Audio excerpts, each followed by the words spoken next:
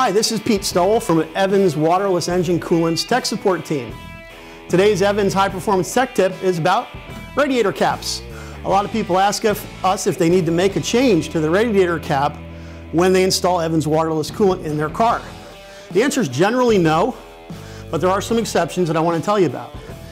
For example, we have, this is a downflow radiator, this particular one from an old MG. In this type of radiator, the cap location is in the upper tank, which is the pressure tank on this type of a core. It's very close to where the incoming coolant comes from the engine into the tank. So this, this cap location does see a lot of pressure. A typical system might have a 13 to 16 PSI cap here. If you change the car to Evans waterless engine coolant, you're going to have a great deal less steam vapor in this location, but you can still have a lot of liquid under certain operating conditions, high RPM operation, or if it's a little too full to start with, you can get liquid pushing up on the cap. For that reason, in most downflow applications, we don't recommend you put a lower system pressure cap on. Keep a normal cap, keep a overflow hose to a uh, catch can or a recovery bottle.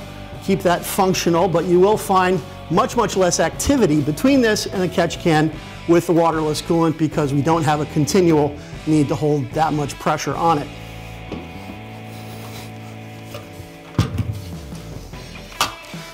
This is a down uh, cross flow radiator, aluminum. This one from a Plymouth Prowler. Uh, this is a little bit different situation. The cap location is on the suction tank. This is the side which sees the cooler coolant, reduced pressure from the coolant traveling across the core, and also the water pump is acting on this to pull fluid from it. This cap location sees much less pressure in general than the downflow does. In this scenario, if you wanted to, you could put, let's say, a 7 psi cap here instead of a typical 13 to 16. Uh, no great change in system operation if you do that. You still want to maintain a overflow or a recovery bottle to catch any coolant that might go out the cap. But generally, there'd be very little activity because, uh, especially with Evans, because we don't have hardly any pressure in the system from steam vapor you can expect that the coolant fill level will remain very stable, very consistent, and you could basically fill it and forget it.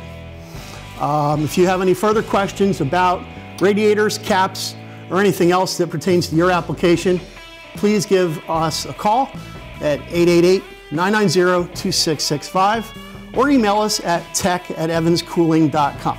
Thanks for watching.